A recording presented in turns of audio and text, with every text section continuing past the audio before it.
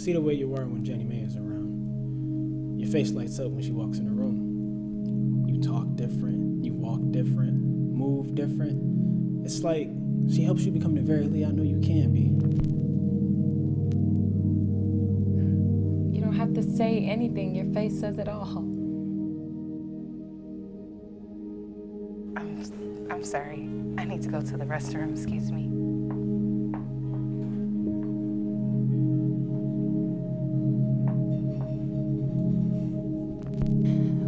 Whatever it is, we can figure it out together.